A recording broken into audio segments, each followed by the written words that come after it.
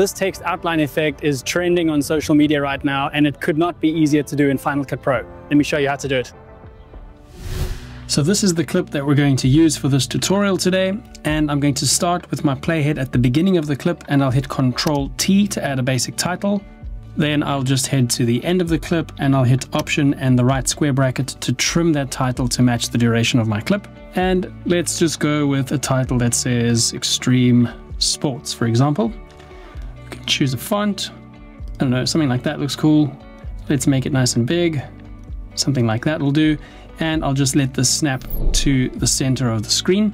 And I'm going to change the color. So under the face parameters here, I can just adjust the color. Let's go with something yellow like that to kind of contrast with the blue in the sky. And then I'm going to hold down option and create a copy of that title.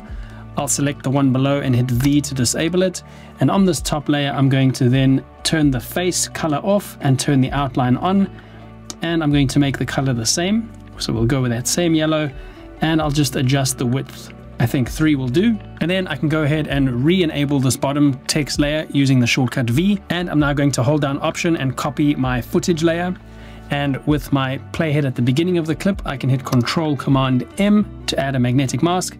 And then I'm just going to select the snowboarder over here. Let's add another point here and then hit Analyze to analyze the motion in that clip. Final Cut Pro does a really good job of rotoscoping. I did notice that there was one frame where the mask on the board kind of got lost. Right here in the trees, you can see the trees there look similar to the board.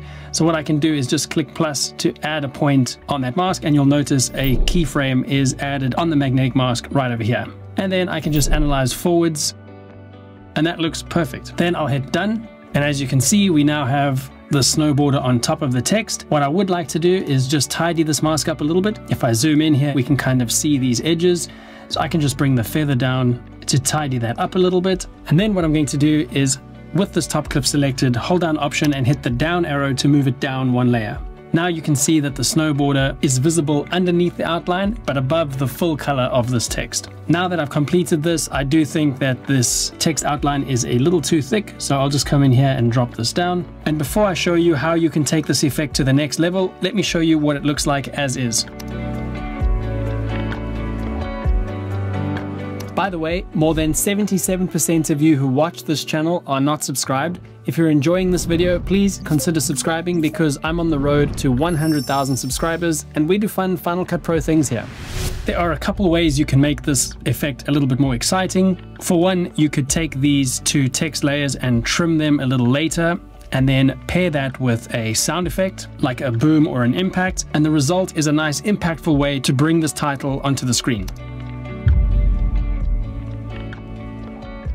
Another thing I like to do with my titles is to head over to the effects and add this glint effect, which is a free effect that I have. I'll leave a link to it down below. And this is quite intense, so I will just drop down the exposure a little bit and I'll bring down the glint size just a little bit. Then I can hit Command C and Command Shift V to paste that glint effect to the top layer as well. And the result is this cool glowing effect. And here's one more tip to add a little more energy to your titles. If you have my ProAnimate effects bundle, you can go ahead and look for the wiggle position restless effect and just drag that on top of both clips. And this works because they are exactly the same duration. I'll leave a link to the pack down below, but if you don't have it, you can just keyframe the position parameter every frame and then copy and paste those attributes from one title to the other. But the result is something that looks like this. If you're looking for more cool text effects for your videos, then you've got to try the text stutter effect next. Luckily for you, I have a tutorial all about it right here. Until next time, happy editing.